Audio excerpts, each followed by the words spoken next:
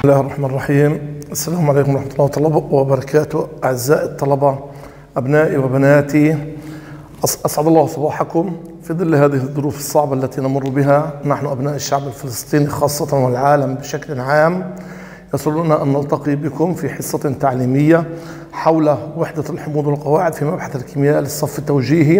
آملا من الله أن, تستف... أن تتحقق فيها الفائدة لكم. وأسأل الله أن تكون هذه الأيام أيام خير وبركة علينا وعليكم. ووحدة الحموض والقواعد تتناول مجموعة من المفاهيم.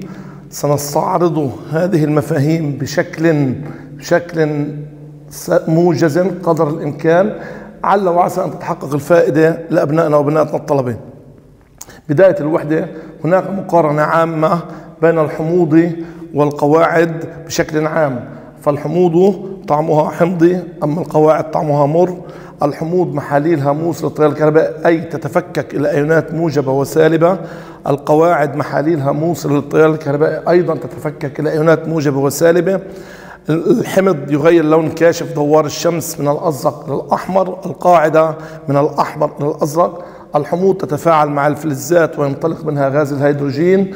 القواعد والحموض والقواعد تتفاعل معا بتفاعلات ينتج عنها ملح وماء. الحموض بصفة عامة تصنف حسب قوة تفككها إلى قسمين ضعيفة وقوية. الاستدلال عليها يكون إما من شدة التوصيل الكهربائي وإما من شدة الغاز المتصاعد عند تفاعلها مع الفلزات القلوية. والقواعد أيضا تصنف إلى قواعد قوية وقواعد ضعيفة. القواعد القوية تفككها تام القواعد الضعيفة تفككها جزئي. الحموض الضعيفة والقواعد الضعيفة بالتفكك الجزئي تكتب المعادلة بسهمين أبناء الطلبة متعاكسين للإشارة أنه يحصل هناك اتزان كيميائي. الآن سيتم الحديث بالتفصيل حول تطور مفهومي الحمض والقاعدة مع الزمن. نبدأ أولا بمفهوم أرهينيوس. مفهوم أرهينيوس عرف الحمض أنه المادة التي تزيد من تركيز أيونات الهيدروجين عند ذوبانها في الماء. من هذا التعريف يتضح لنا أن الحمض يجب أن يحتوي على أيون الهيدروجين وأن يتواجد في الماء للحكم عليه أنه حمض والمعادلة التالية توضح. لو استعرضنا الحمض HCl طبعا حسب أرهينيوس تكتب ال H2O على السهم للإشارة على أنها مذيب وليست متفاعل. تعطيني H موجب زائد Cl سالب. وسهم واحد لأن ال هو حمض قوي كما سيتم استعراضهم. الآن لو طلب مني وضح السلوك الحمضي لل HCl حسب مفهوم أرهينيوس التوضيح من خلال التعريف التوضيح من خلال التعريف. لاحظ أن ال HCl عند ذوبانه في الماء يزداد تركيز أيون الهيدروجين إذا هو حمض أرهينيوس. والحموض طبعا معظم الحموض القوية صنفت حسب أرهينيوس إلى حموض. أما بالنسبة للقواعد حسب أرهينيوس فهي المادة التي تزيد تركيز أيون الهيدروكسيد عند ذوبانها في الماء. أيضا أرهينيوس في القواعد يشترط أن تحتوي على OH وأن يكون وأن تكون في الماء. والمعادلة التالية توضح ال NaOH في المية تعطيني أيون الصوديوم الموجب زائد أيون الهيدروكسيد السالب. لو طلب مني وضح السلوك القاعدي لل NaOH حسب مفهوم أرهينيوس السؤال يحمل الجواب حسب مفهوم أرهينيوس من خلال التعريف المصطلح أمامكم. يجب أقول أن ال NaOH عند ذوبانها في الماء يزداد تركيز أيون الهيدروكسيد. هذا المفهوم أبنائي وبناتي. الطلبة مفهوم محدود لأنه يشترط في الحمض وجود الهيدروجين ويشترط في ال OH وجود الهيدروكسيد ويشترط أن تكون في الماء. ولكن هناك مواد أظهرت خصائص قاعدية رغم عدم احتوائها على أيون ال OH مثل الأمونيا. فالأمونيا في الماء بتعطيني ال NH4 موجب زائد ال OH سالب زاد تركيز ايون الهيدروكسيد رغم عدم احتوائها على مجموعة على ال OH هي لها خصائص قاعدية لكن لم يستطع مفهوم أرهينوس أن يوضحها. لذلك هناك في كتاب الطالب صفحة 61 ثلاث نقاط هي محددات مفهوم أرهينيوس أو أوجه القصور في مفهوم أرهينيوس.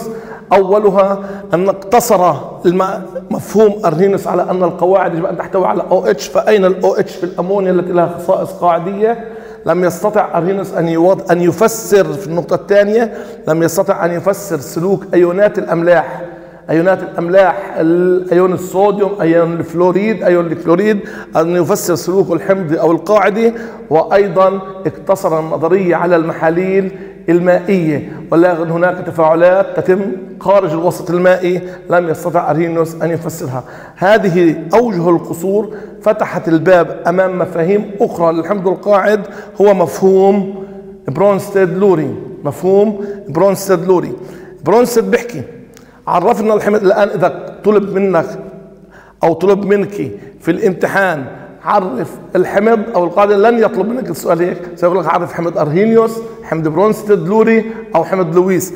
فالحمض حسب مفهوم برونستد لوري مادة قادرة على منح أيون الهيدروجين أو منح بروتون لمادة أخرى عند تفاعلها تفاعلهما معا. وباختصار بنقول عنه مانح بروتون مانح هيدروجين. والقاعدة مادة قادرة على استقبال بروتون عند تفاعلهما معا. الأمثلة توضح ذلك.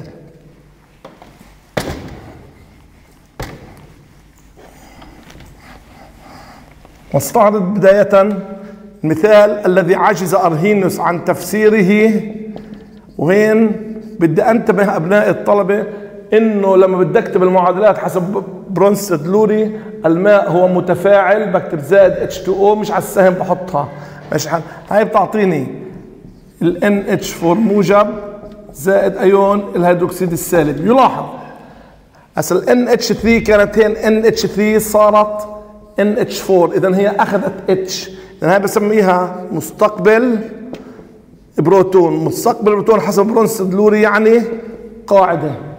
الآن ال H2O صارت OH يعني هاي منحت هاي عبارة عن H موجب و OH سالب. هاي منحت ال H هاي لهاي اذا هاي بنسميها مانح بروتون. مانح بروتون يعني حمض.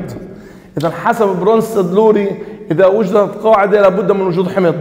إذا وجدت قاعدة لابد من وجود حمض. وبالتالي استطاع مفهوم برونس لوري أن يوضح السلوك القاعدي لل NH3 مثال آخر. أو قال لي وضح السلوك الحمضي ل HCOOH عند تفاعله يجب أن يبين المادة الأخرى المتفاعل معها سواء ماء أو غير الماء. سائل HC OOH زائد ال H2O على اعتبار إنه هذا حمض ضعيف تكتب معادلته بسهمين متعاكسين للإشارة أنه يحصل فيه اتزان. بعطيني أيون HCO سالب زائد H3O موجب.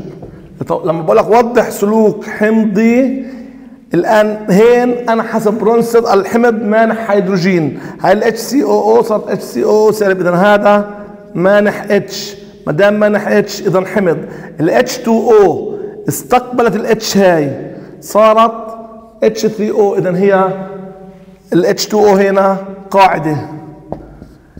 الآن في المثالين اللي امامنا أبنائنا الطلبة ال H2O عند تفاعلها مع ال NH3 سلكت حمضا ال H2O عند تفاعلها مع حمض الميثانويك سلكت قاعدة.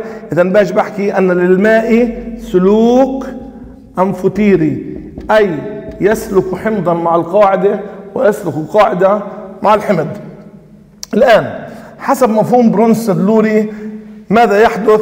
للمادة بعد أن تفقد حمضا بعد أن تفقد أيون هيدروجين أو للقاعدة بعد أن تستقبل أيون هيدروجين. بمثال آخر.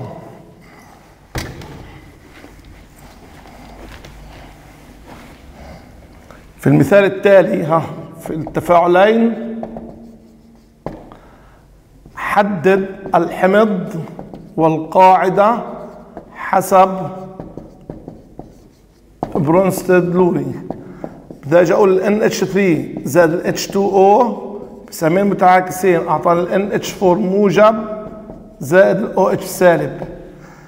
ال NH4 موجب زائد ال OH سالب بسمين متعاكسين أعطتني ال NH3 زائد ال H2O طبعا ان إتش 3 صارت إن إتش 4 يعني أخذت إتش. اذا هي قاعدة. ال اتش 2 أو منحت اتش اذا هي إيش؟ حمض.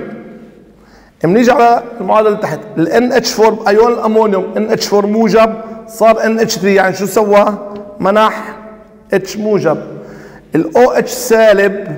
استقبل اتش اللي من الان اتش 4 صارت. اذا هي قاعدة. لو نربط هذول التفاعلين مع بعضهم البعض. ال NH3 هي قاعدة. صارت NH4 ال NH4 شو شو سلكت حمض. إذا وكأن برونستد لوري يقول أن القاعدة بعد أن تستقبل بروتون تصبح حمض ملازم. حمض ملازم للقاعدة. والحمض بعد أن يمنح H يصبح قاعدة ملازمة. إذا حسب برونستد لوري تتواجد الحموض والقواعد على هيئة أزواج متلازمة. على هيئة أزواج متلازمة. القاعدة بعد أن تستقبل H تصبح حمض ملازم والحمض بعد أن يمنح H يصبح قاعدة ملازمة. من الأسئلة اللي ممكن تتكلم عن الموضوع؟ يعني قد يأتيك يأتيكم سؤال اكتب معادلة تفاعل الحمض مثلا ال CH3COH مع الماء وحدد الأزواج المتلازمة. وحدد الأزواج المتلازمة.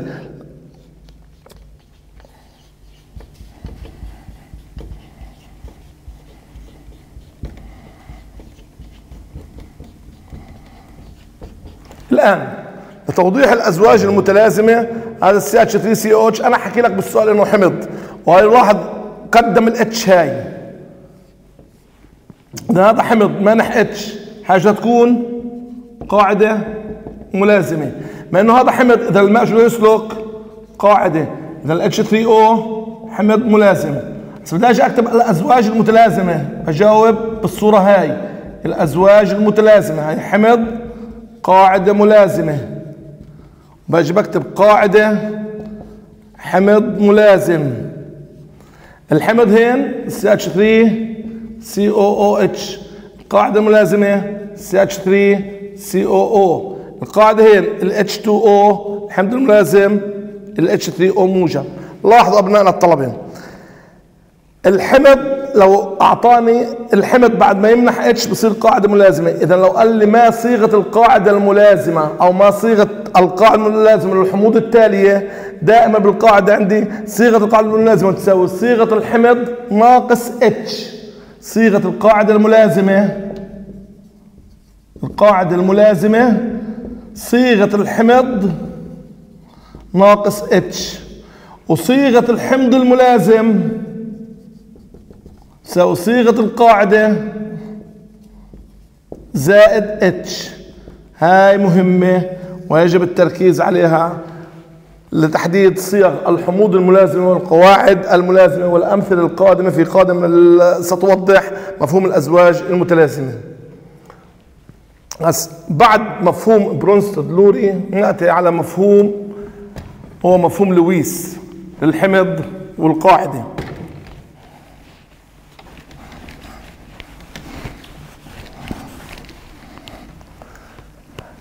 قدم لويس تعريفا للحمض تجاوز فيه ضرورة انتقال بروتون من مادة إلى أخرى بحيث ربط العملية بانتقال إلكترونات.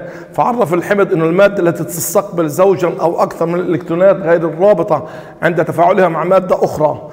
ما دام تستقبل زوج من الإلكترونات إذا يجب أن يمتلك الحمض حسب مفهوم لويس فلكا فارغا. والقاعدة هي المادة التي تمنح زوجا أو أكثر من الإلكترونات غير الرابطة إلى مادة أخرى عن تفاعل معها أيضا القاعدة حسب مفهوم لويس يجب أن تملك زوج إلكترونات غير رابط. إذا لتوضيح السلوك الحمضي حسب لويس يجب أن أبحث عن الفلك الفارغ. ولتوضيح السلوك القاعدي حسب لويس يجب أن أبحث عن زوج الإلكترونات غير الرابط. مثال لو من الأمثلة اللي بكررها الكتاب سلوك ال BF3 الحمضي حسب لويس. تعلمتم أبنائنا الطلبة في جزيء ال BF3 شكل أزواج الإلكترونات كيف ترسموه وتحددوا نوع التهجين وشكل الجزيء. من ما تعلمته سابقا بيطلع عندك ال BF3 شكله مثلث مستوي. هذا شكل أزواج الالكترونات طبعا شكل أزواج الإلكترونات وهو نفسه شكل الجزيء. بما إنه شكل أزواج الإلكترونات مثلث مستوي اذا التهجين إس بي 2 اذا تهجينه إس بي 2 لما بدي آجي أنا أعمل تهجين ذرة الفلور ذرة البورون بيطلع 2p1 لما بدي آجي أعمل تهجين ال sp2 هاي الأفلاك الثلاثه اللي اندمجت قبل التهجين. بوزع الإلكترونات هاي واحد واحد واحد وهذا فلك. 2p فارغ. الآن ما اني قدرت أحط إيدي على الفلك الفارغ أنا وصلت لتوضيح السلوك. انت لما بقول لي وضح سلوك ال BF3 باجي بقول أن ال BF3 شكله مثلث مستوي يحتوي على أحد أفلاك المستوى الفرعي 2p فارغا. ما إنه في فلك فاضي إذا قادر على استقبال زوج إلكترونات عند تفاعله مع مادة أخرى. نكمل. بدنا نفاعل ال BF3 مع ال B مع ال NH3 لويس عند تفاعل الحموض والقواعد معا لا يتحدث عن أزواج متلازمة. بتحدث عن أزواج متلازمة؟ اتفقنا هو برونستد لوري. فال NH3 لو تيجي نرسم هاي شكل لويس لها لتوضيح أزواج الإلكترونات غير الرابطة اذا تحمل زوج إلكترونات غير رابط. ال BF3 هاي طبعا أي فلك فارغ على أفلاك مهجنه اتجاهه عمود على الأفلاك المهجنة. الآن تنشأ رابطة ما بين الزوج غير الرابط والفلك الفارغ. هاي الرابطة بنسميها رابطة تناسقية. رابطة تناسقية. فبتعطينا هاي هيات ال N عليها 3 H وهاي ال B عليها 3 F وهاي الرابطة أبنائنا الطلبة رابطة تناسقية. اذا بالشكل المختصر لتوضيح السلوك القاعدي حسب لويس يجب أن أبحث عن زوج الالكترونات غير الرابط لتوضيح السلوك الحمضي حسب لويس يجب أن أبحث عن الفلك الفارغ. ميزات مفهوم لويس أنه أكثر شمولية. قدم تجاوز موضوع انتقال البروتون من مادة إلى أخرى وأيضا استطاع أن يفسر السلوك الحمضي لأيونات الفلزات الانتقالية مثل السيو زائد 2 الاي جي موجب واحد الفلزات العناصر الانتقالية استطاع لويس أن يقدم تصورا لسلوكها الحمضي هذا بشكل مختصر عن تطور مفهوم الحمض والقاعدة مع الزمن.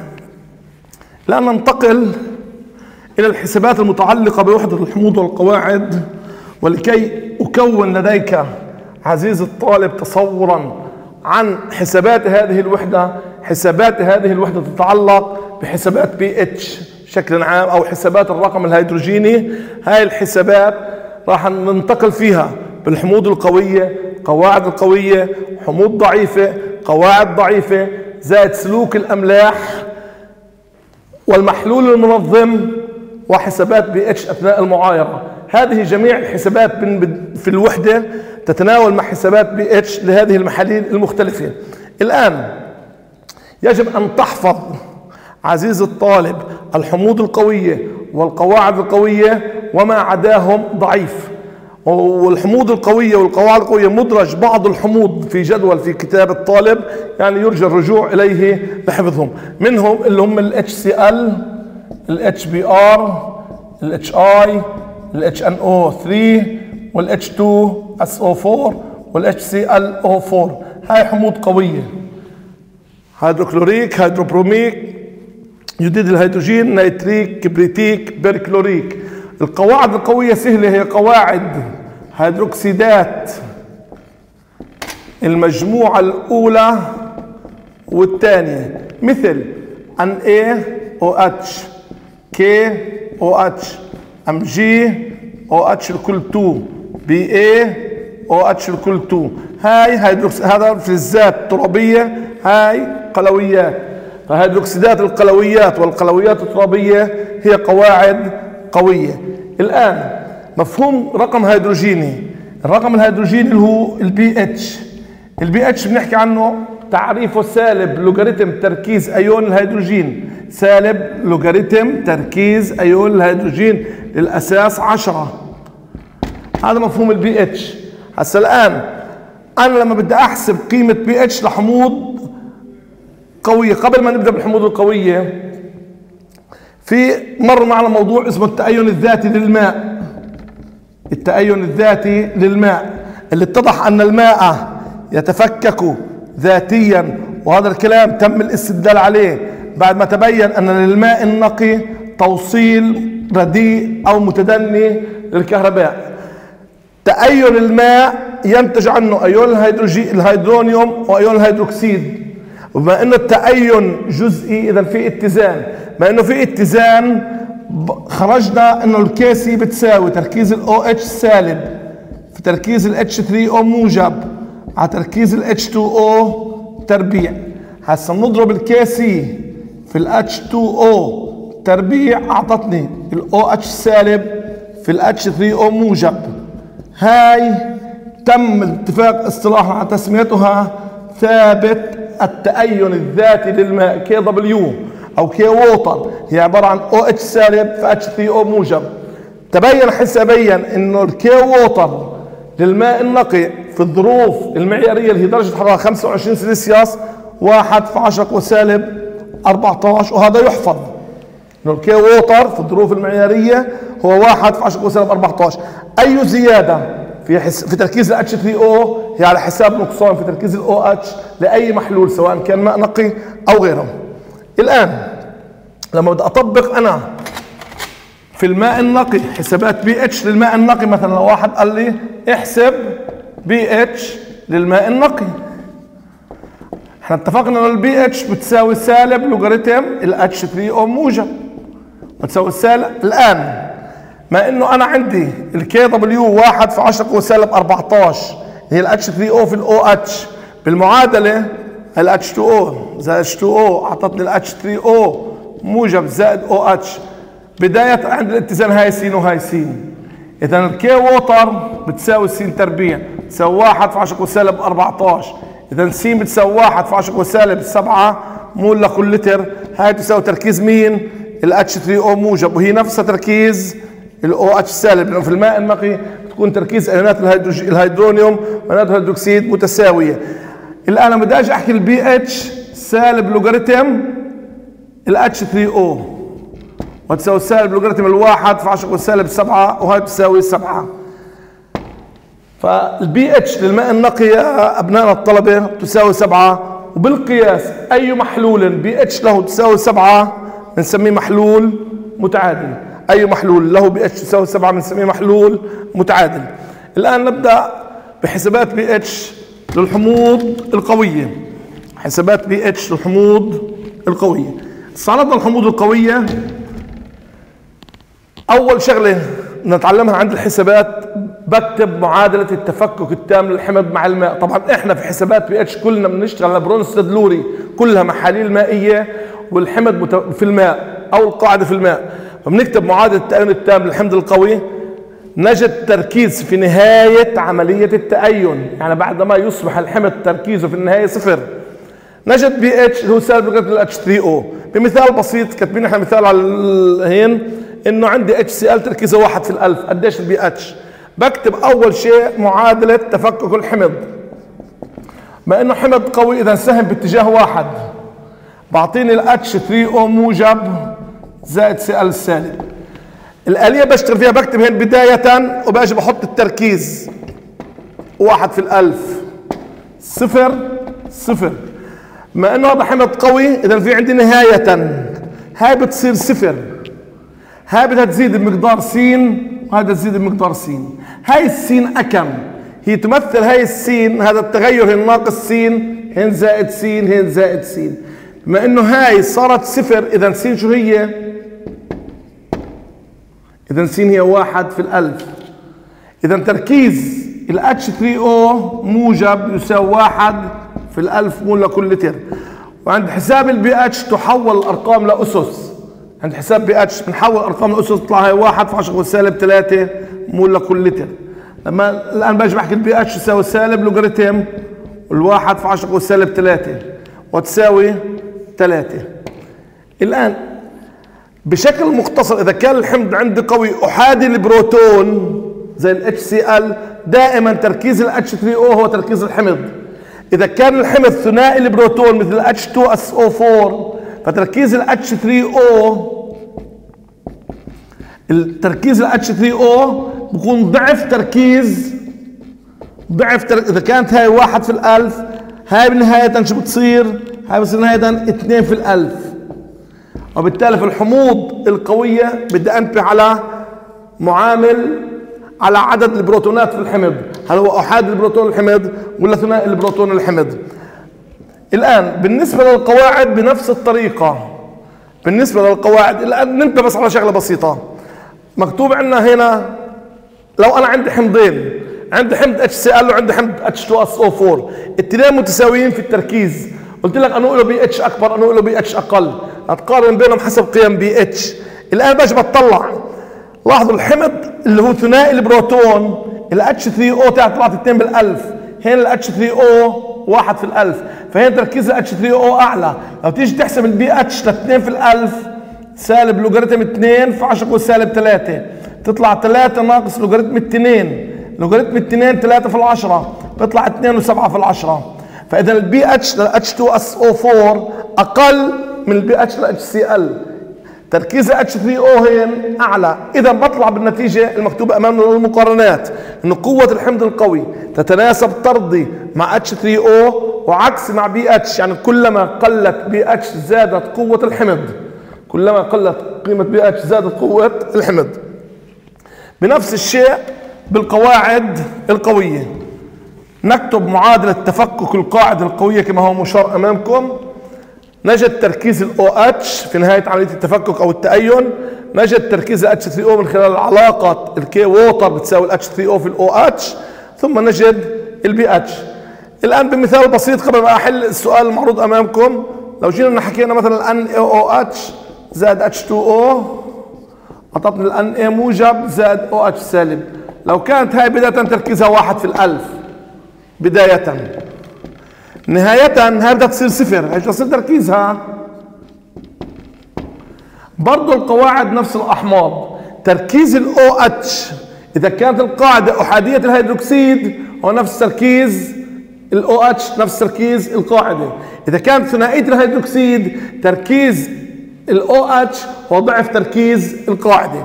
وبالتالي هنا تركيز ال OH طلع معي واحد في 10 سالب 3 إذا ال H3O من خلال علاقة ال K water بتساوي 1 في 10 سالب 14 على 1 في 10 سالب 3 بتساوي 1 في 10 سالب 11 إذا البي اتش بتطلع سالب لوغاريتم الواحد في 10 سالب 11 وتساوي 11 لو عندي قاعدة ثانية بنفس الصورة اللي فيها الأحماض لو قلت البي اي أو إتش الكل 2 بدون ما نحل تركيزها واحد في الألف أنو له بي إتش أعلى.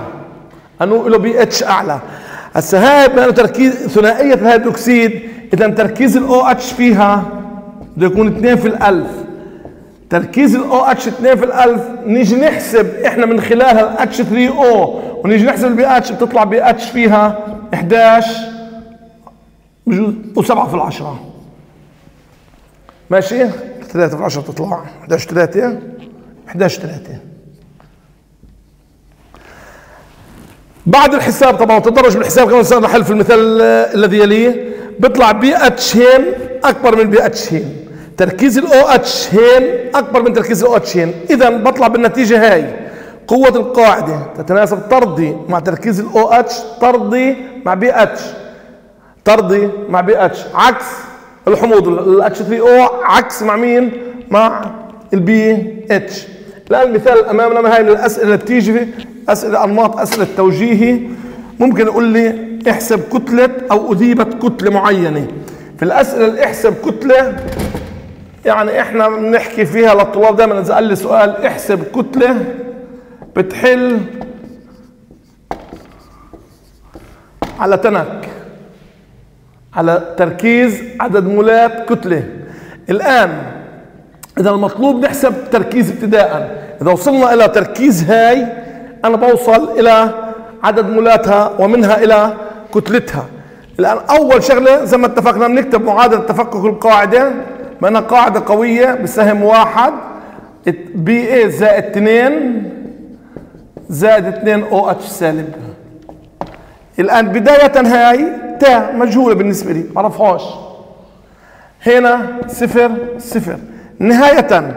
هذا تصير صفر هذا تصير اثنين تا هذا تصير اثنين تا؟ شو كاتب أنا بالسؤال؟ بي اتش له تساوي 12 أي سؤال كتبت لك بي اتش فيه إذا حمض بدي أطلع ال H3O إذا قاعدة بدي أجيب ال H3O ومنها أجد ال OH الآن باجي بحكي. البي اتش تساوي 12 إذا تركيز ال H3O 10 وناقص 12 إذا تركيز ال OH 10 قوة سالب 2 حاصل ضربهم 10 قوة سالب 14 الآن ال OH 10 قوة سالب 2 هاي شو بتساوي؟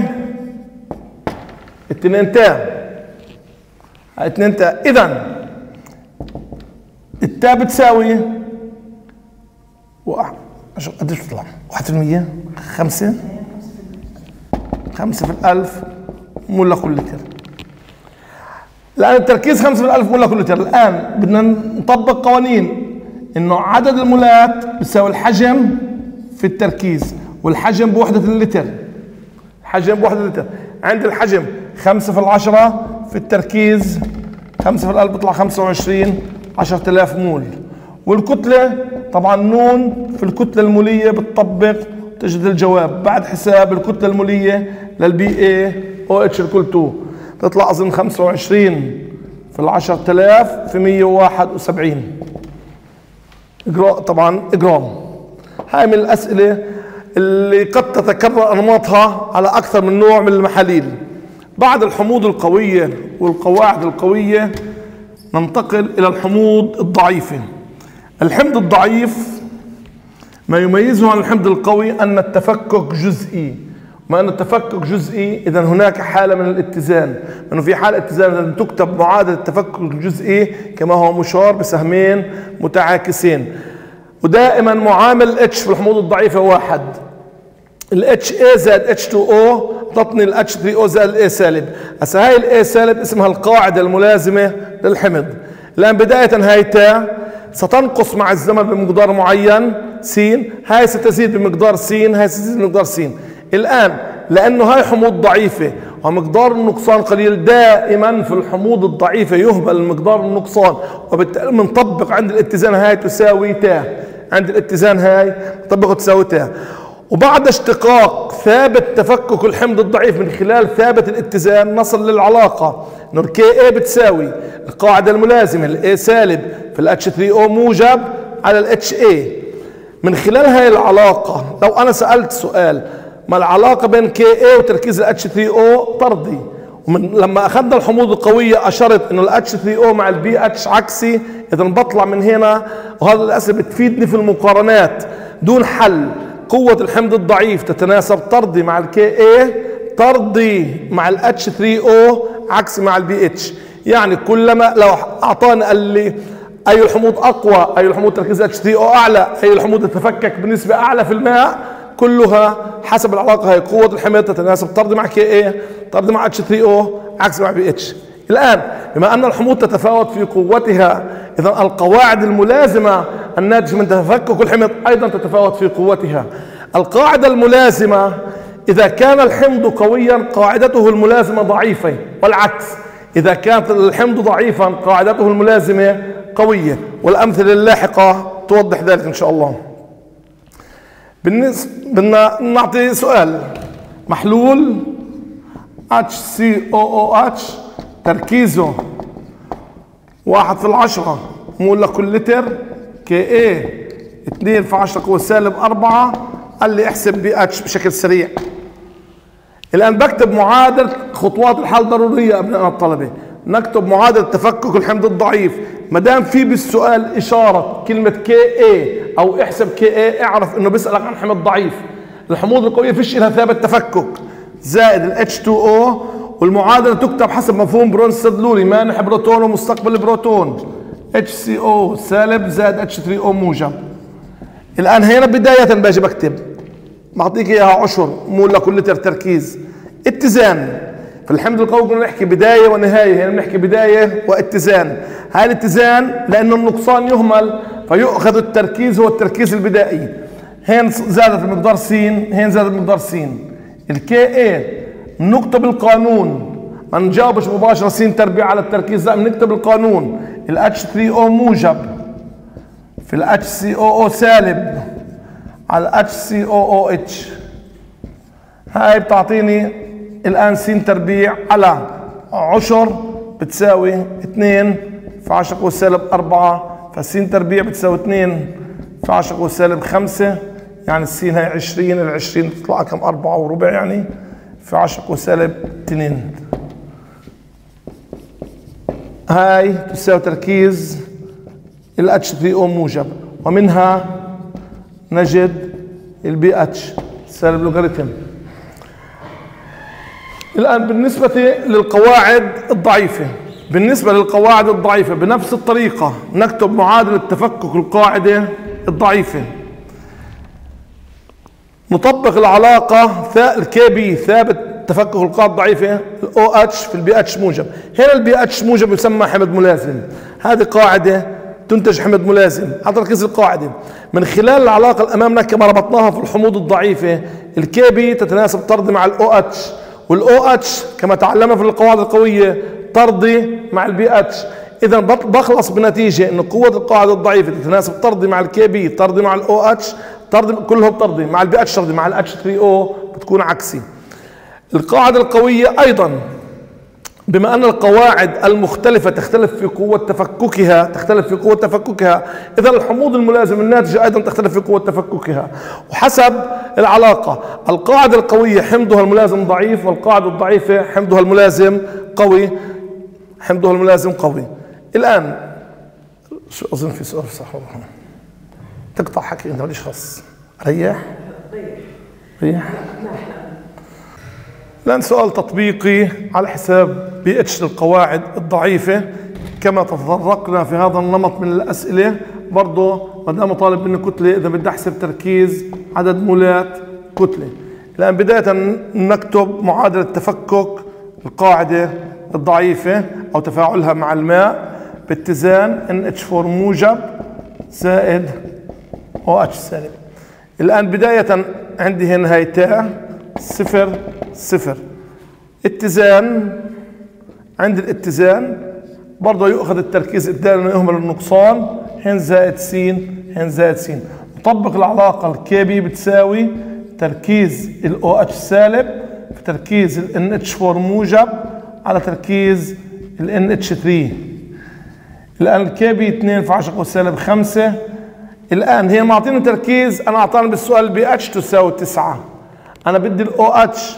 البي إتش تساوي 9 إذا ال H3O 10 سالب 9 مول لكل لتر. إذا ال OH 10 سالب 5 مول لكل لتر. إذا أنا بتساوي 10 سالب 5 في ال NH4 موجب برضه تكون نفسها لأنها س في س على ال NH3 اللي هي تاء هاي مع هاي بتروح ضل عندي 2 تاء بتساوي 1 في 10 سالب 5 إذا تاء بتساوي 5 في 10 سالب 6 مول لكل لتر ومنها نون تساوي حاف تاء وكاف بتساوي نون في كاف ميم.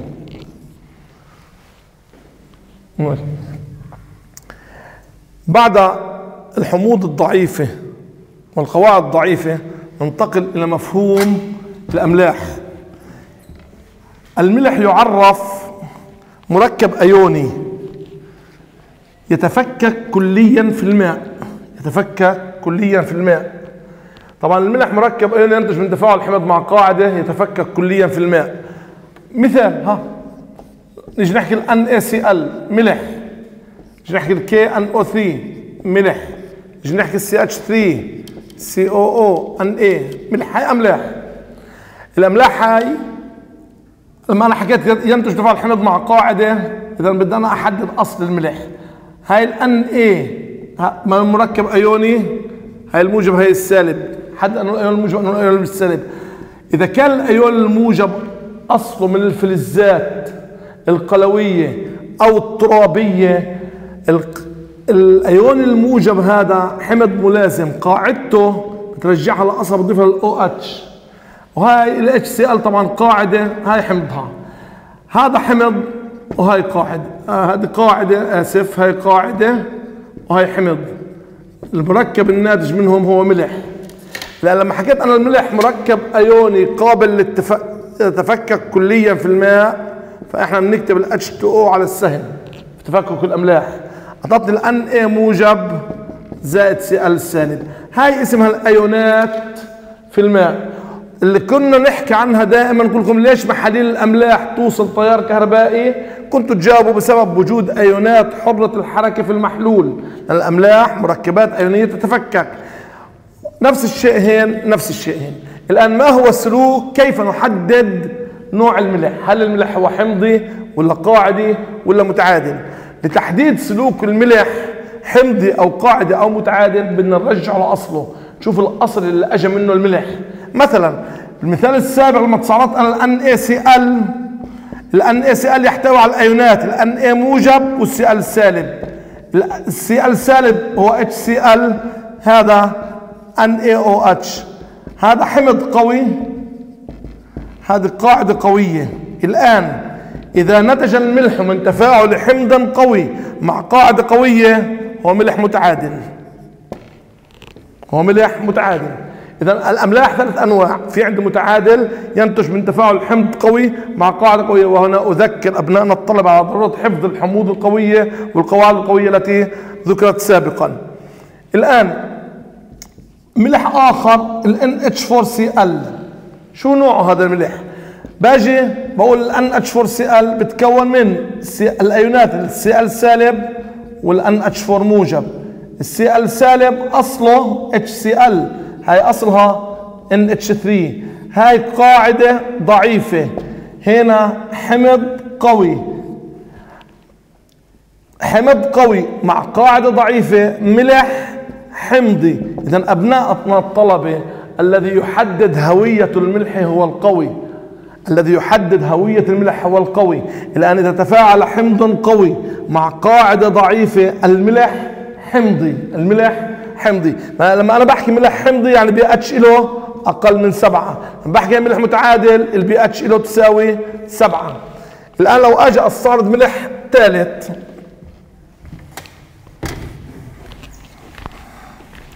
ملح الثالث بدي استعرضه CN مثلا. هذا بتكون من الأيونات ال CN سالب وال Na موجب. ال Na موجب أصلها أن اي أو أتش. هاي أصلها HCN. هاي قاعدة قوية وهذا حمض ضعيف. ما إنه قاعدة قوية وحمض ضعيف إذا ملح قاعدة والبي أتش له أكبر من سبعة. الآن بهذه الطريقة نحدد نوع الملح. حمضي أم قاعدة أم متعادل. لكن ما هو سلوك أيونات الملح في الماء؟ سلوك أيونات الملح في الماء خدنا مفهوم اسمه التميه. التميه اللي هو تفاعل أيونات الملح مع الماء. لزيادة إنتاج تركيز ال H3O أو ال OH أو كليهما. لزيادة التركيز طبعا إحنا معكم في التوجيهي رح نستعرض بس. زيادة التركيز H3O أو OH بدون كليهما. فالتميه هو تفاعل أيونات الملح مع الماء. لزيادة تركيز ال H3O أو ال OH أو كليهما. نستعرض هسه أي الأيونات تتميه وأيها لا يتميه وشو القواعد اللي نعتمدها في هذا الموضوع. الآن الملح ان اسال ما سلوك أيونات الأملاح التالية؟ نستعرض اللي استعرضتهم سابقا وهي الان اس ان الان باجي على الملح NaCl برجع لاصله Cl سالب و Na موجب.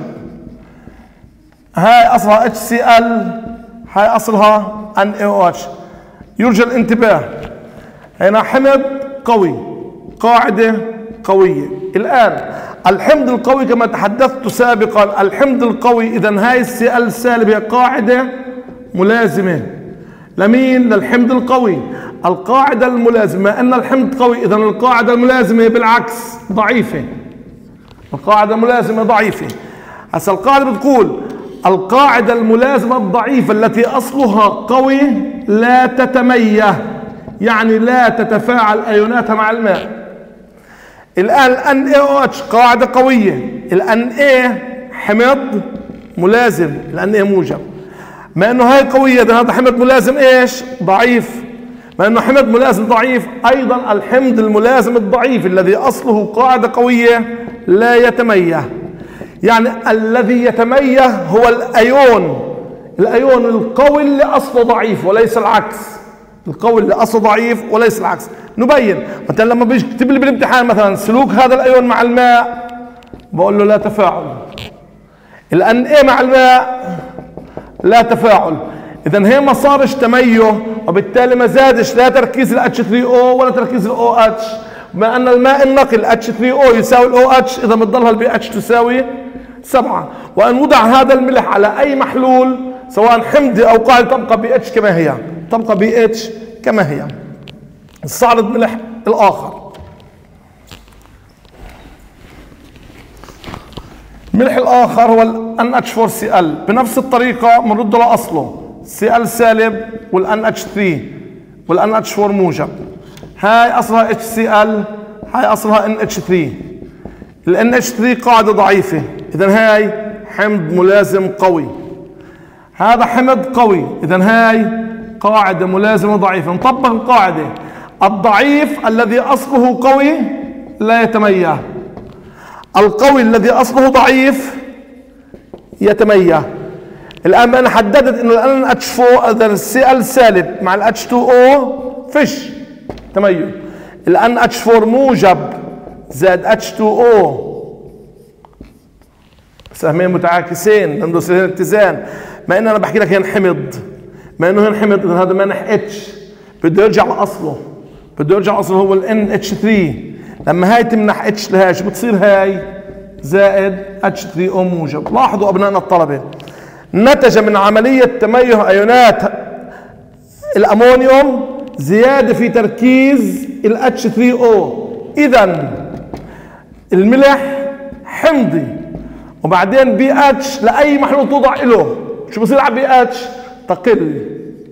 لأنه بما أنه زادت 3 أو ستقل البي اتش العلاقة عكسية بين 3 أو والبي اتش لما يقول لي وضح سلوك الملح هذا في المية بدي أنا أعرف ما هي الأيونات التي تتميه وماذا نتج عن عملية التميه زيادة في H3O أم زيادة في ال OH مثال ثالث على ملح آخر.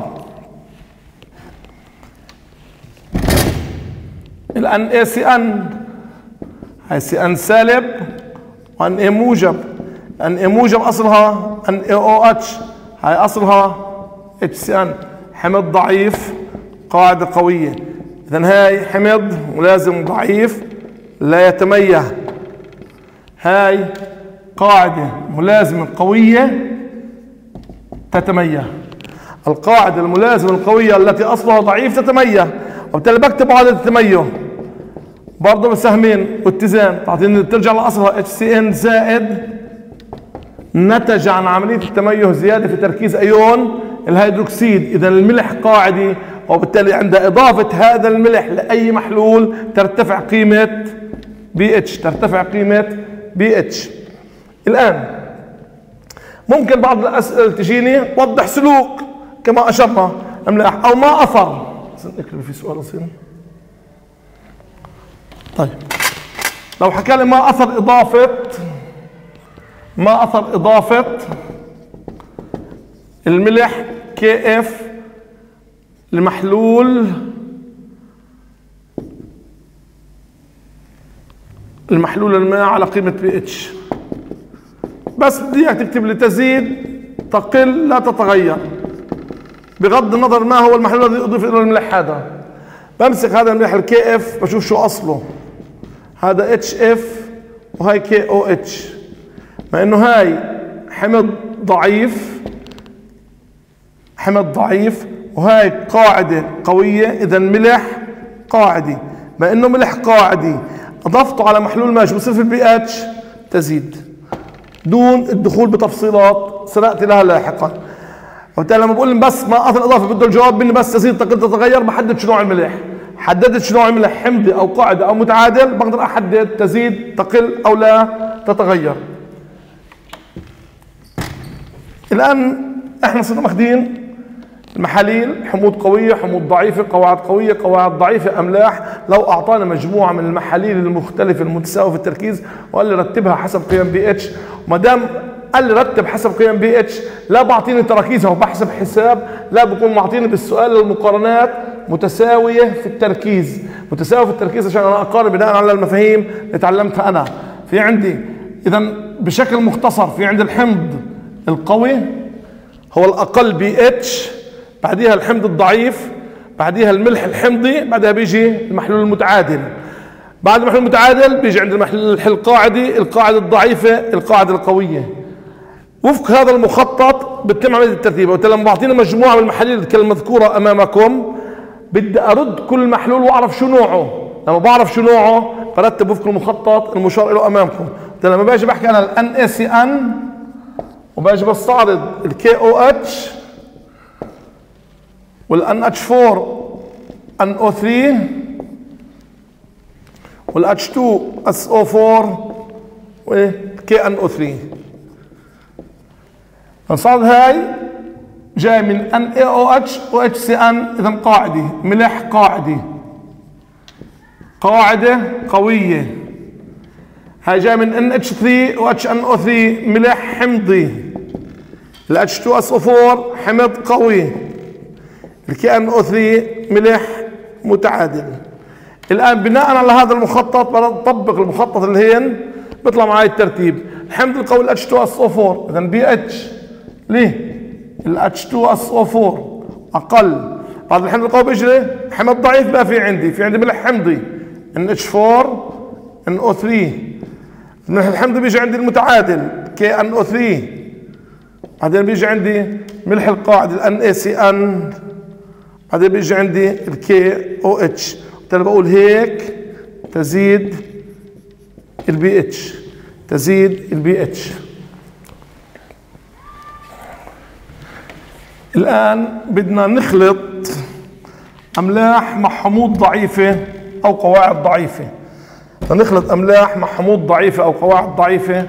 الآن لو أنا في عندي محلول HF هذا حمض ضعيف. بتفكك جزئي هاي H2O أعطاني ال H3O موجب زائد F سالب. قلت لك ما أثر إضافة الملح NaF لمحلول الحمض. لأن عشان أعرف اثر الأضافة بكتب معادلة تفكك الحمض الضعيف وبكتب معادلة تفكك الملح. هاي الاتش اف زائد اتش 2 أو اعطتني ال H3O موجب زائد ال F سالب. بكتب هذه معادلة الملح NaF وهي الملح H2O على السهم. هاي ال Na موجب زائد F سالب. لاحظوا أبنائنا الطلبه الآن هنا في اتزان. ما انه في اتزان تعرض النظام المتزن لمؤثر خارجي اللي هو إضافة الملح. فعندما تعرض لمؤثر خارجي زاد تركيز أيونات الفلوريد. زاد تركيز أيونات الفلوريد. لأنه زاد تركيز أيونات الفلوريد هذا النظام سيعدل من نفسه. ليعود إلى اتزان جديد حسب مبدأ لوتشاتليه الآن بما إنه زاد تركيز الفلوريد اذا بده ينحاز النظام نحو اليسار. ما إنه بده ينحاز النظام نحو اليسار اذا ال H3O شو راح يصير فيها؟ راح تقل. لأنه قلت ال H3O اذا بي اتش راح تزيد. البي اتش راح تزيد. اذا ما اثر إضافة NaF الآن أستطيع التفسير من خلال مسارين. إما المسار اللي شرحته سابقا اللي هو نوع الملح المضاف وإما من خلال مفهوم بنسميه الأيون المشترك. الآن لاحظوا أيون الفلوريد ليش سمي أيون مشترك؟ لأنه أيون قادم من مركبين مختلفين ضمن نفس المحلول. يعني كان أنا عندي هنا في HF ضفت عليه NaF صار ال F سالب اللي هين واللي هين في نفس الوعاء. من مصدرين مختلفين في نفس الوعاء. الآن يظهر أثر هذا الأيون إذا كان أحد المركبين يتفكك جزئيا في اتزان. لو ما فيش نظام متزن ما بيظهرش الأثر. وبالتالي أنا ما أثر إضافة الملح NaF لمحلول الحمض. ال F أيون مشترك. باجي بقول يلاحظ زيادة تركيز الأيون المشترك. اذا هذا بدنا نعرف شو اسمه أيون مشترك. ليش سميناه أيون مشترك؟ لأنه قادم من مركبين مختلفين. هذا اسمه ايون مشترك. يلاحظ زيادة ال F بنحاز التفاعل نحو اليسار.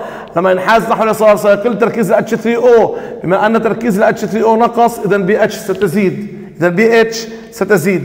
أي محلول احتوى على حمض ضعيف وملح يحتوي على الأيون المشت... على القاعدة الملازمة للحمض الضعيف بصير اسمه محلول منظم. الذي سنستعرض مفهومه واليه عمله لاحقا. الآن لو كان عندي حمض آخر محلول آخر لو عندي كان ال NH3 قاعدة ضفت لها الملح NH4Cl نكتب المعادلات وبدنا نحدد وين الأيون المشترك ونشوف شو بصير على قيمة pH للمحلول بعد إضافة ال NH4Cl على ال NH3 بكتب معادلة القاعدة الضعيفة. القاعدة الضعيفة هي ال NH4 موجب زائد OH سالب. هذا نظام متزن. ضفت له الملح NH4Cl الملح بتفكك تفكك كلي. بعطيني ال NH4 موجب زائد Cl سالب. لاحظ هذا شو اسمه؟ اذا الايون مشترك. ايون قادم من مركبين مختلفين ضمن نفس المحلول ويظهر أثره إذا كان أحد المركبين يتفكك جزئيا. فأنا عندي ال NH3 بتتفكك جزئيا. الآن زاد ال NH3 لوين بده ينحاز النظام المتزن؟ حسب مبدا لوتشاتليه نحو اليسار. لأنه بده ينحاز نحو اليسار. شو راح يصير بال OH؟ راح تقل ال OH. لأنه قلت ال OH اذا ستقل البي إتش. ستقل البي إتش للمحلول. الآن الحسابات التي تتعلق على المحاليل التي تحتوي على أيون مشترك. إذا كان المحلول قاعدة ضعيفة وملح يحتوي على الحمض الملازم للقاعدة الضعيفة من خلال ال Kb وإذا كان المحلول حمض ضعيف وملح يحتوي على القاعدة الملازمة للحمض الضعيف من خلال حسابات ال Ka خلال حسابات ال Ka الآن نطبق سؤال على الأيون المشترك ونشوف كيف تتغير التراكيز. محلول CH3 COOH تركيزه 2 في العشرة مول لكل لتر وال Ka 2 في 10 سالب 5 احسب بي اتش احسب بي اتش المحلول السابق بعد إضافة عشر مول لكل لتر من الملح CH3 COONA إليه. المطلوب الأول هو حسابات بي اتش الحموض ضعيفة كما تعلمنا سابقا. نكتب معادلة تفكك الحمض الضعيف. السي اتش 3 سي أو سالب زائد H3O موجب. عندي هنا 2 في العشرة عندي هنا سين سين وهذا عند الاتزان مباشرة. اذا ال Ka بتساوي ل H3O موجب. في السي اتش 3 سي أو سالب على سي اتش 3 سي أو أو اتش هاي 2 في 10 سالب 5 بتساوي س تربيع على 2 في العشرة بيطلع 4 في 10 سالب 6 ومنها س 2 في 10 سالب 3 مول لكل لتر هاي تركيز ال H3O موجب. إذا البي اتش طلع تساوي سالب لوغاريتم 2 في 10 سالب 3 3 ناقص لوغاريتم 2 3 ناقص 3 في العشرة وتساوي 2 و7 في العشرة. اذا هذا المحلول كانت بي اتش له ابنائنا الطلب 2 و7 في العشرة قبل ما نضيف عليه الملح. الآن بدنا نضيف على هذا المحلول الملح CH3COONA ونشوف شو بصير معنا. بدنا نتوقع شو بصير لقيمة بي إتش من خلال مبدأ لوتشاتليه بعدين نحسبها حسابيا. بنكتب معادلة تفكك الحمض الضعيف.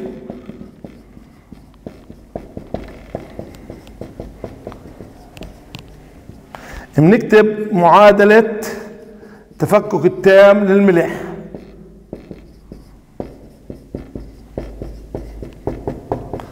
الآن هذا الأيون اسمه أيون مشترك.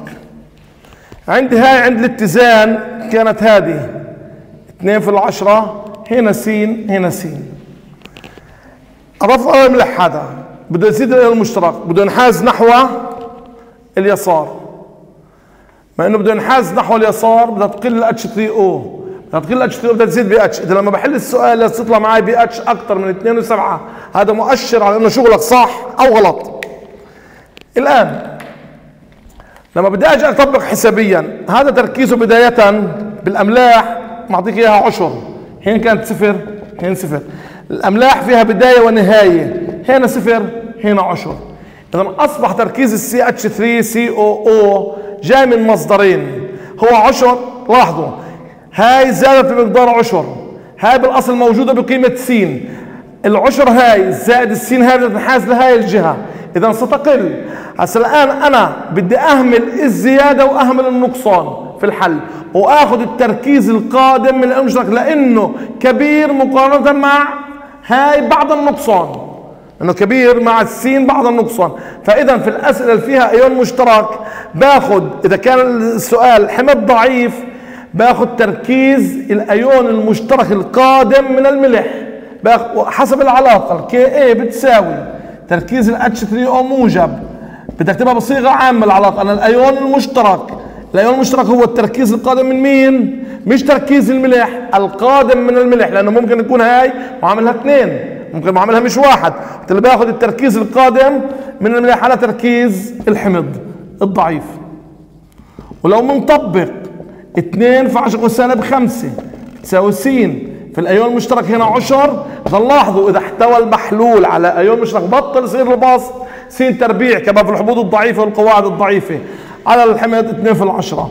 هاي مع هاي راحت بيطلع س بتساوي 4 في 10 وسالب 5 مول لكل لتر هاي تركيز ال H3O ومنها البي اتش بتساوي 5 ناقص 6 في العشرة بيطلع 2 4 و4 في العشرة. بعد حساب لاحظوا إذا البي اتش طلعت عندي زادت البي اتش من 2 و7 إلى 4 و4 هذا المحلول الحمض الضعيف والملح إذا اجتمعا معا في وعاء واحد حكينا بنصير اسمهم محلول منظم. ويطبق نفس الفكرة لو كان قاعدة ضعيفة وحمض ومحلول يحتوي على الحمض الملازم. ومحلول يحتوي على الحمض الملازم.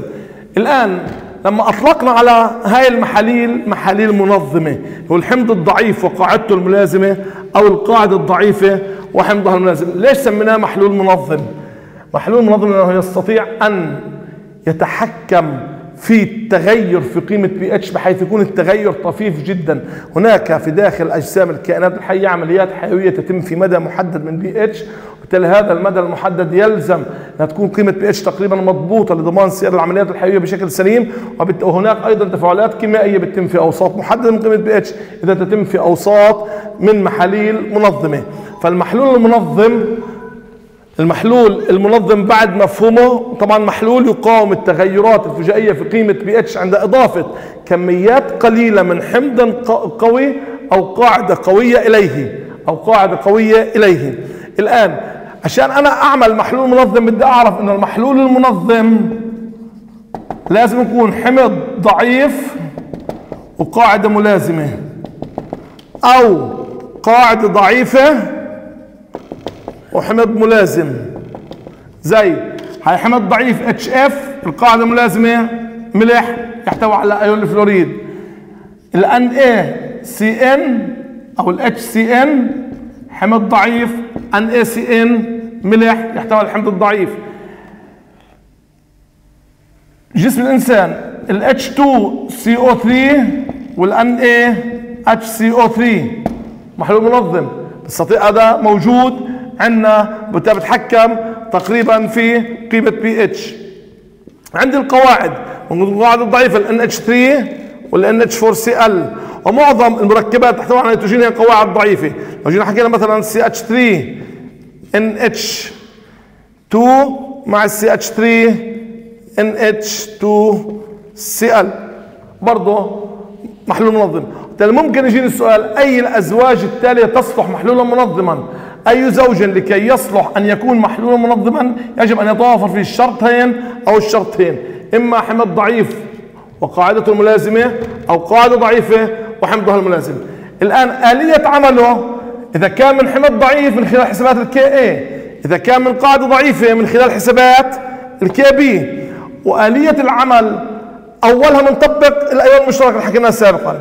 إذا اضفنا له حمض قوي أو قاعدة قوية للمحلول المنظم نكتب معادلة التفكك التام للحمض القوي أو القاعدة القوية. بعد ما نكتب معادلة التفكك نحدد اتجاه الانحياز في النظام المتزن نحو المتفاعلات أو نحو النواتج. وعليه نحدد مقدار الزيادة والنقصان في الحمض الضعيف وقاعدته أو في القاعدة الضعيفة وحمضها. بعد ما نحدد مقدار الزيادة والنقصان بنطبق العلاقة. هسه دائما الزيادة أو النقصان هو بمقدار تركيز ال H3O القادم من الحمض القوي أو ال OH القادم من القاعدة القوية أو ال OH القاعدة القادمة من القاعدة القوية. الآن بدنا نستعرض المثالين ابنائنا الطلبة بشكل يعني إن شاء الله لأنه هاي الأسئلة اللي بتتكرر باستمرار في الثانوية العامة وهذه الأسئلة بتيجي عليها نمط أسئلة في الوزاري. راح الآن عندي سؤال محلول منظم من CH3COOH تركيزه 8 في العشرة والملح CH3COONa تركيزه 4 في العشرة. ال Ka 2 في 10 سالب 5 بدي بحسب البي اتش بكتب معادلة تفكك الحمض الضعيف.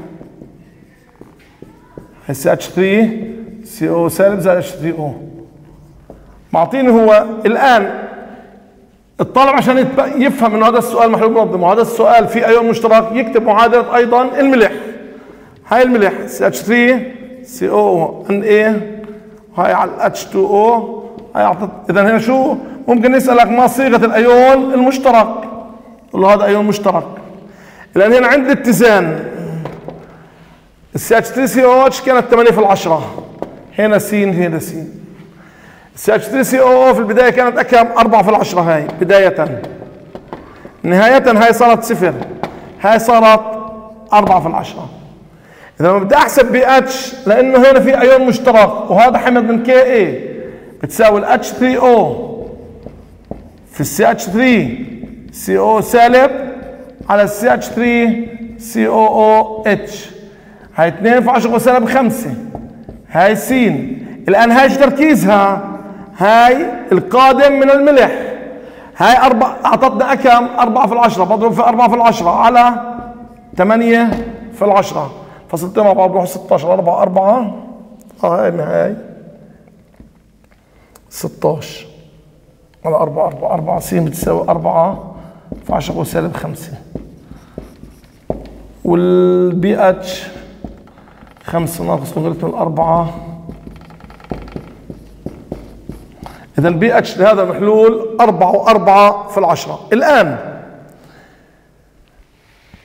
بدي أضيف على هذا السؤال مطلوب ثاني إذا أضفت له لهذا المحلول على فرض عشر مول من اتش سي ال. خلي خلي المعادلات مكتوبة. نحكي احسب بي اتش عند إضافة عشر مول اتش سي ال للمحلول المنظم لكل لتر مع إهمال التغير في الحجم. طبعا هو بحكي لي في الأسئلة. مع إهمال التغير في الحجم للاشاره ان تراكيز مكونات المحلول المنظم ثابتة ما تغيرتش. الآن أنا لما بعطيني أضفت حمض قوي لمحلول منظم شو اللي بلزمني بلزمنيش أكتب ثلاث معادلات بشكل أساسي. بلزمني أكتب معادلة الاتزان. عندي هنا في اتزان أول. تعرض هذا الاتزان الأول لمؤثر خارجي اللي هو إضافة اتش سي ال بكتب معادلة الاتزان وبكتب معادلة تفكك الحمض القوي الآن سي اتش 3 سي أو أو اتش زائد الاتش 2 أو أعطتني السي اتش 3 سي أو سالب زائد اتش 3 أو الآن التراكيز عندي هاي 4 في العشرة عندي هاي 8 في العشرة. هاي طبعا هاي من وين؟ اللي اجت من الملح. 4 في العشرة. الآن هاي الاتش سي ال طبعا زائد H2O حمض قوي أعطتني ال سالب زائد اتش 3 أو موجب. الآن هذا نظام متزن هذا اتزان أول. نظام متزن أثرت عليه بمؤثر خارجي لو أضفت حمض زاد تركيز ال H3O لأنه زاد تركيز ال H3O سينحاز النظام نحو ركزه سينحاز النظام نحو اليسار. لأن بما انه الانحياز نحو اليسار شو راح يصير في تركيز هاي؟ هاي راح تقل. وهاي تزيد مقدار النقصان والزيادة كما هو مبين مقدار النقصان أو الزيادة هو بمقدار تركيز ال H3O القادم من الحمض القوي. الآن هاي بداية أنا معطيك إياها عشر. هين صفر هين صفر. نهاية هاي صفر هاي عشر. اذا الزيادة والنقصان راح تكون بمقدار عشر. الآن أنا هين شو ضفت ابنائنا الطلبة؟ ضفت حمض. لما بضيف حمض تتدخل بشكل مختصر تتدخل القاعدة. واللي بتدخل بدفع من جيبته اللي بتدخل بخسر وبالتالي هاي أنا زاد حسب ما دائما.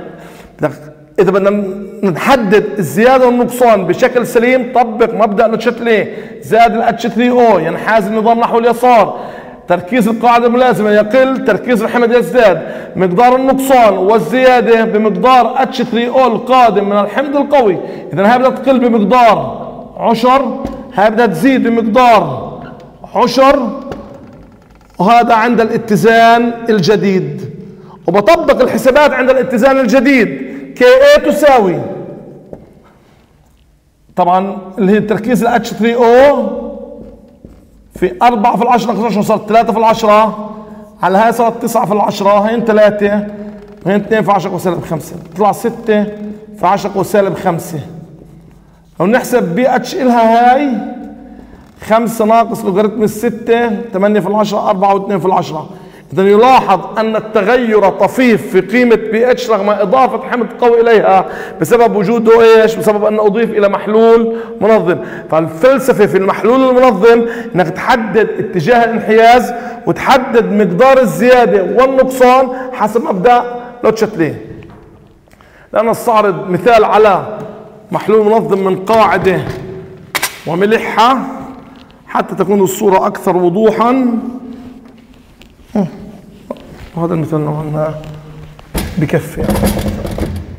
بطلع هذا السطر مش حصل الآن عندك احسب كتلة ان اتش 4 سي ال لعمل محلول منظم من NH3 تركيزه 4 في العشرة بي اتش تساوي 9 الآن هين هاي عندي الان اتش 3 زائد اتش 2 أو أعطتني الان اتش 4 موجب زائد أو اتش سالب تركيز هاي 4 في العشرة. بده أضيف ملح هاي NH4 موجب. هذا أيون مشترك. الاثنين مع بعض محلول منظم. هنا أيون مشترك. واللي اضيف لي هاي بده كتلتها كتلتها بدي أحسب تركيزها بداية. نهاية هاي بتصير صفر هاي بتصير تا. هاي التا هي نفسها. تركيز الايون مشترك بدي أعتمده في النظام النظام هين. هذه تا. عند بي اتش كم بالسؤال معطيك إياها. بي اتش 9 بي اتش 9 إذا ال H3O 10 وسالب 9 أنا عندي OH بيلزمني إذا ال OH 10 وسالب 5 مول لكل لتر إذا هاي 10 وسالب 5 عندها 4 في العشرة. بحكي ال Kb تساوي بشكل مختصر 10 وسالب 5 في تا على 4 في العشرة تساوي 2 في 10 وسالب 5 فبتطلع تا بتساوي 8 في العشرة.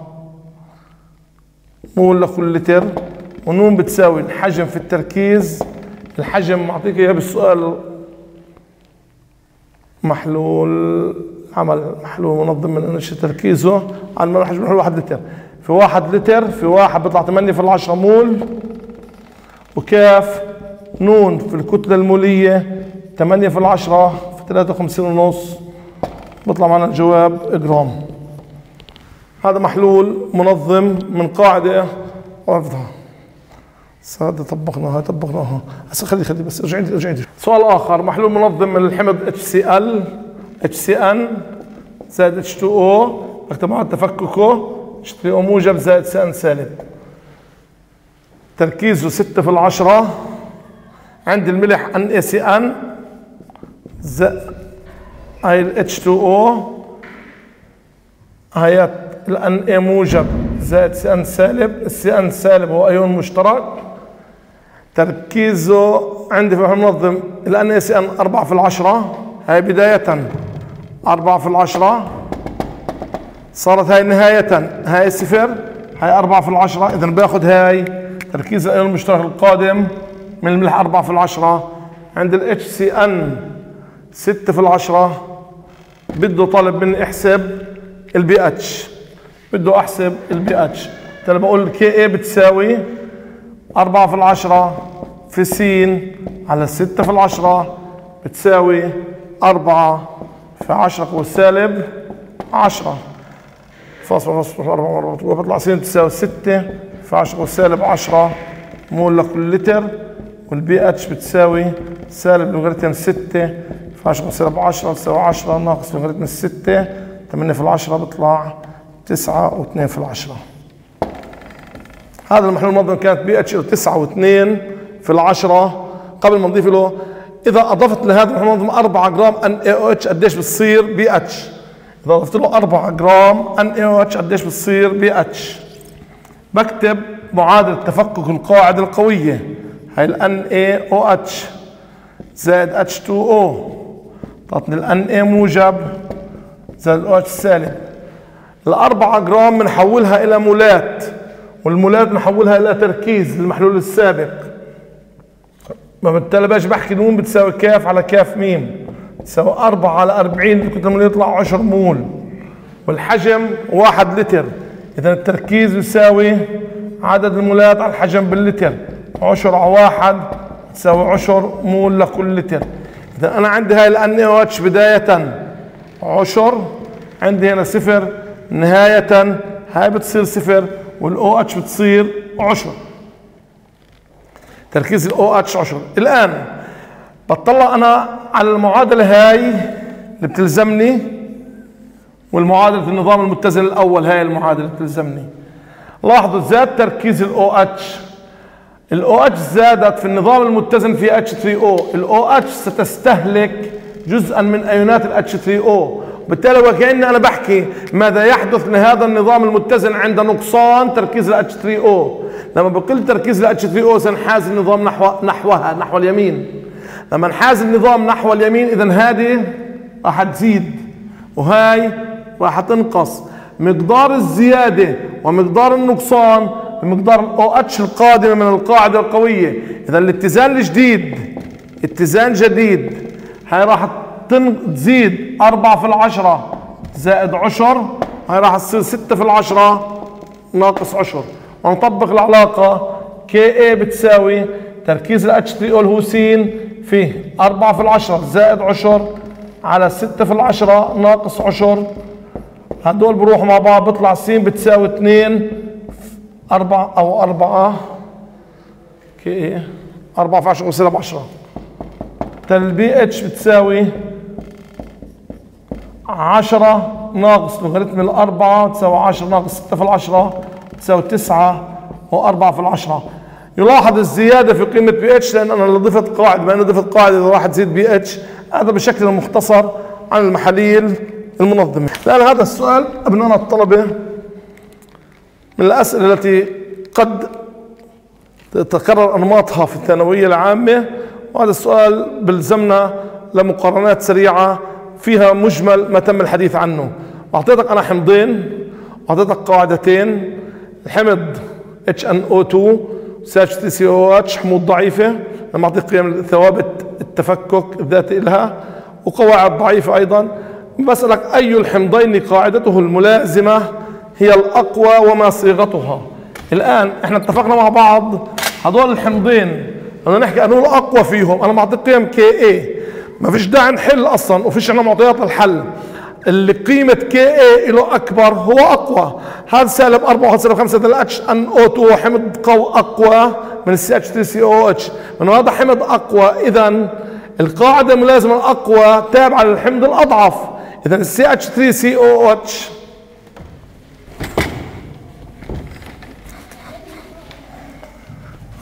هاي السي اتش 3 سي أو أو اتش حمض اضعف اذا السي اتش 3 سي أو أو قاعدة ملازمة أقوى.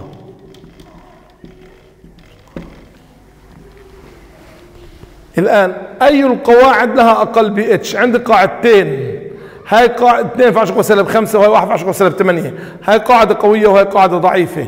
الآن بي اتش ترضي مع قوة القاعدة.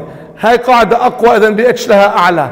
أنا بدي بي اتش أقل إذا بأجي بحكي ال NH2OH هي لها أقل بي اتش إذا بي اتش تتناسب طرد مع قوة مع تركيز ال OH طرد مع قوة القاعد مع ال Kb من هذا المخطط تطلع عندي ال NH2OH أضعف كقاعدة اذا أقل بي اتش الان حكي لي إكتب معادلة NH2OH وحدد مع ال NH4 وحدد الأزواج المتلازمة ثم حدد الجهة التي يرجح لها الاتزان. الآن بكتب المعادلات حسب مبدأ الاتشتلي ال NH4 موجب زائد ال NH2OH هاي الآن. ال NH2OH بالمعادلة هي قاعدة. أنا قاعدة بدها تستقبل H هتست... هاي مانح H لهاي هسا هاي ال H دائما بتيجي على النيتروجين. هاي شكل لويس إلها. هاي H. هاي H هاي ال OH هين. ال H بتيجي هين. بالتالي بنكتبها إن. إتش 3 أو اتش سالب زائد NH3 الآن هذا حمض. اذا هاي قاعدة. اذا هاي حمض ملازم. هاي قاعدة ملازم الآن حدد الجهة التي يرجح لها الاتزان. باش بطلع على قيم Ka Kb الموجودة عندي. ال NH3 ال Kb لها 2 في 10 سالب 5 هاي Kb 2 في 10 سالب 5 هاي ال Kb لها 1 في 10 سالب 8 اذا هذه أقوى. قاعدة قوية. إذا حمضها الملازم ضعيف. ما إنه هاي أقوى إذا هذه قاعدة ضعيفة. حمضهم لازم قوي والقاعدة تقول أن الاتزان يرجح نحو الحمض والقاعدة الضعيفين. فعند الضعيفين وين؟ في المتفاعلات. أنا بقول يرجح نحو المتفاعلات. القاعدة تحكي يرجح الاتزان نحو الحمض والقاعدة الضعيفين. إذا في هذا السؤال يرجح الاتزان نحو المتفاعلات. ما أثر إضافة الملح Na NO2 لحلول HNO2 هذا الملح جاي من NaOH و HNO2 ال NaOH قاعدة قوية وال HNO2 حمض ضعيف. إذا هذا ملح قاعدي.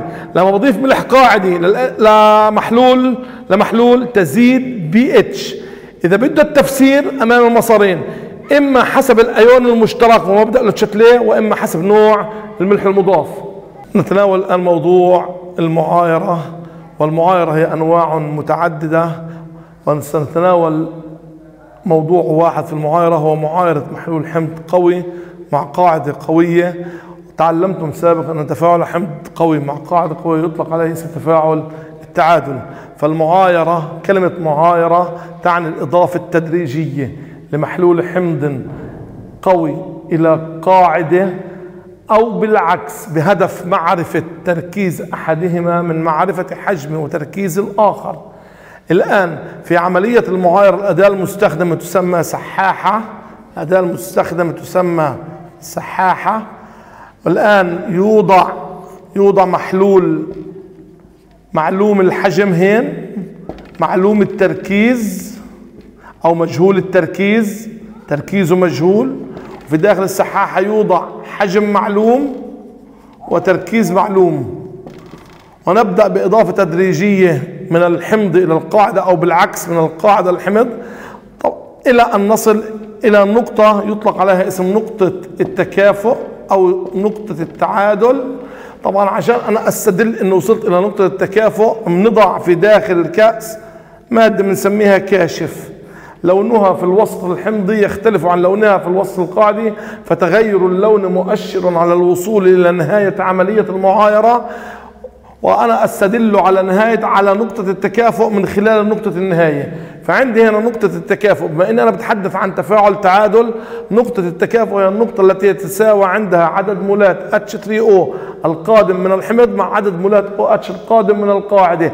وعندها بما إنه عدد مولات ال H3O تساوي مع عدد مولات OH وعندها تكون بي اتش المحلول تساوي 7 نقطة النهاية هي النقطة خلال عملية المعايرة التي يصاحبها تغير دائم في لون المحلول وهي تزيد قليلا عن قيمة عن نقطة التكافؤ إلا أنها تدل عليها إلا أنها تدل عليها. بشكل مختصر أبنائنا الطلبة الحسابات المتعلقة بالمعايرة هي نوعان. أثناء أو عند التعادل عند التعادل عند التعادل ب H تساوي 7 نطبق العلاقة هاي. نون H3O القادم من الحمض تساوي نون OH القادم من القاعدة وعدد المولات يساوي الحجم في التركيز في عدد أيونات أو عدد مولات H في الحمض إذا كان أحاد البروتون أو ثنائي البروتون. ونون من القاعدة حجم القاعدة حجم القاعدة بتركيز القاعدة في عدد أيونات OH الموجودة في القاعدة كانت أحادية هيدروكسيد أو ثنائية هيدروكسيد. بحسابات بي اتش أثناء المعايرة النوع الثاني من الحسابات نطبق الخطوات الخمسة بالتدريج.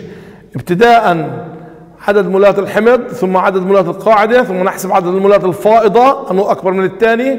نحسب تركيز المولات الفائضة هو عدد المولات الفائضة على التركيز الجديد هو يساوي حاصل جمع الحجمين.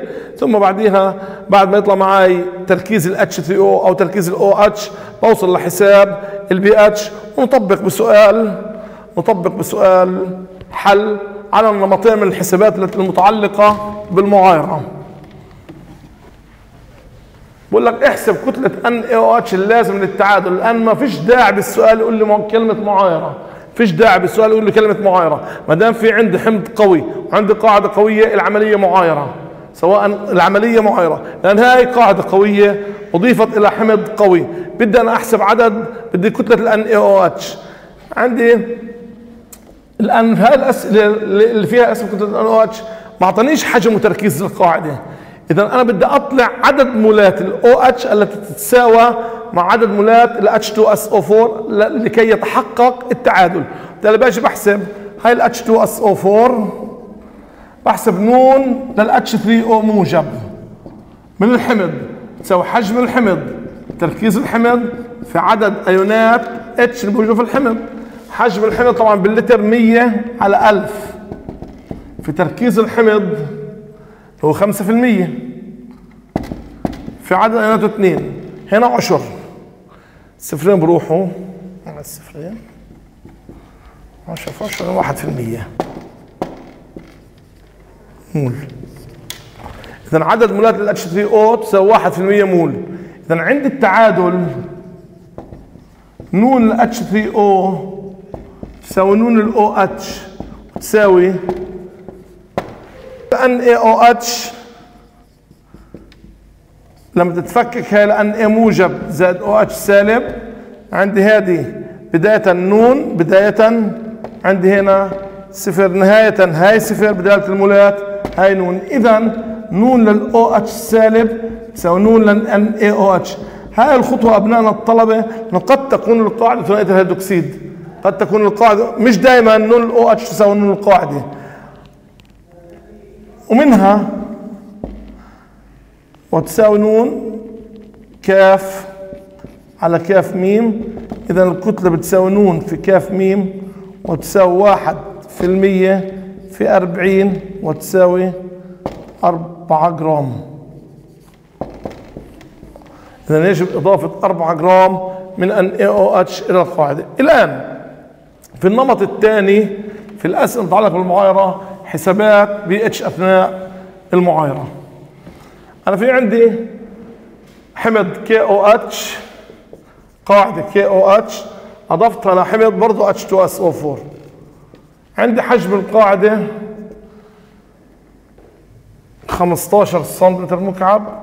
عندي تركيزها 2 في العشرة. عندي حجم الحمض. واحدة 10 وواحدة 15 لازم نكتب 15 هي 10 هاي 10 هاي 10 هاي حجمها 10 وتركيزها 4 في العشرة. مش مشكلة بدنا تطلع أرقام هسا الآن بدنا نحسب بي اتش أثناء المعايرة. بالخطوات اللي أشرت لها سابقا الخمس خطوات السابقة نقول ال H3O.